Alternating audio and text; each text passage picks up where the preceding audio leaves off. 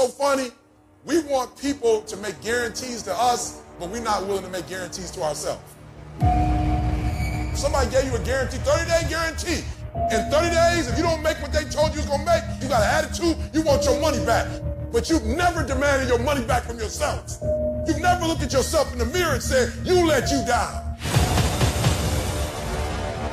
You keep saying you ain't on the next level because the economy. You keep saying you ain't in the next level because it ain't the season. You keep saying you ain't in the next level because the opportunity ain't there. The truth of the matter is that you ain't there because you ain't there. Have you ever looked at yourself in the mirror and said, I'm not getting up on time. I'm not going to work on time. I'm not putting in 120% when I'm at work. I let me down. And there's some of you, you know what you want, but you are not personally willing to do the work it takes to get it. What you're trying to do is do what you've done on this level and get the next level. You like, I'm getting up every day. I'm putting in two and a half. I'm putting in three, and I'm not getting the opportunity. The opportunity might require getting up and working out three and a half.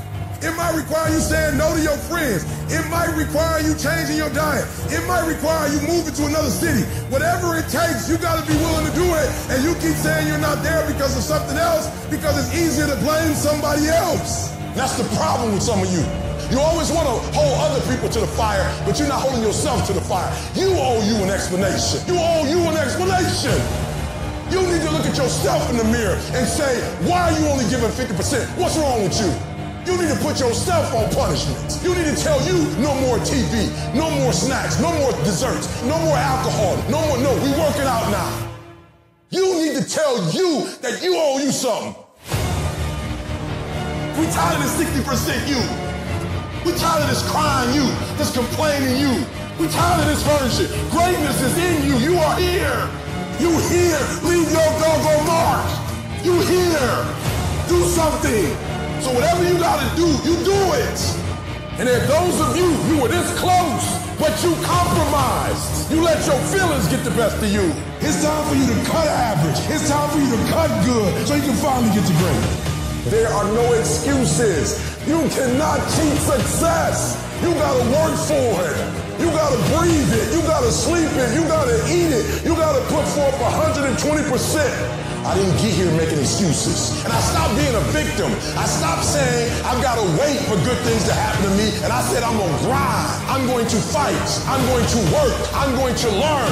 I'm going to do everything in my power every single day. I'm going to do everything in my power to become a victor and not a victim.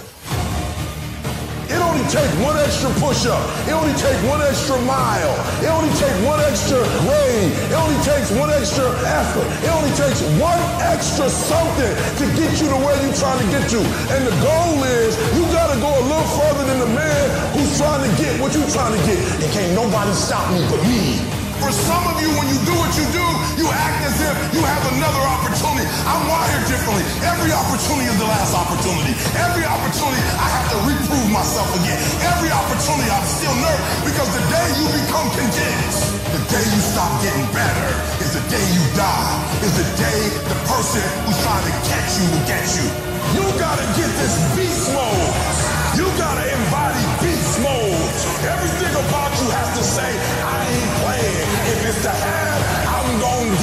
and I ain't leaving none of it behind. It's mine.